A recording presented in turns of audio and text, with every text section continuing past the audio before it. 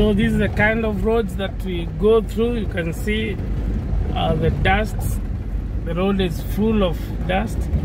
We're just trying like to drive around. That's why we are praying for four-wheel drive.